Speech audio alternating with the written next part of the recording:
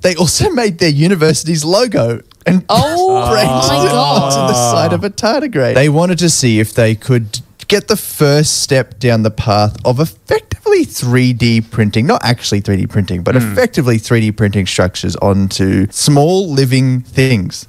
So they went with a tardigrade because it is the small living thing They're that the can best. withstand Yeah. so much. Let me read to you what happened to these tardigrades. N- Well, it was Oh. unkillable for 40% of them in this study. Oh, The God. Other 60% didn't make it through this process. Okay.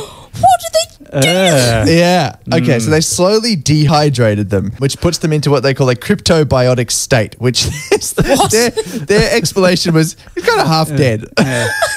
then the researchers placed individual tardigrades onto carbon composite paper.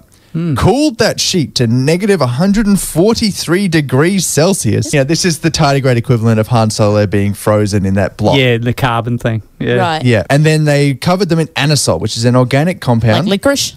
Very much like licorice. Okay. It is a straw colored liquid, occurs naturally in black truffles and some flowers and other organisms, and it freezes, right? Because they're at negative 143 hmm. degrees. They use it because of the way it interacts with an electron beam, okay. Dope. which allows them to get really precise. When they were exposed to this beam hmm. of electrons, hmm. the anisole reacted and formed a new chemical po- compound that struck stuck to the tardigrade surface. So it effectively like glues Yeah. what the anisole becomes External to the tattoo. It's not surface of the tattooing, it's tardigrade. branding. Yeah. It is a branding, bit of a brand, yeah. They can uh, create squares, dots, Hmm. lines. They also made their university's logo and Oh branded my it onto God. the side of a tardigrade. Did they give that tardigrade a degree? No, I don't think it has They any honorary should. doctorates. No.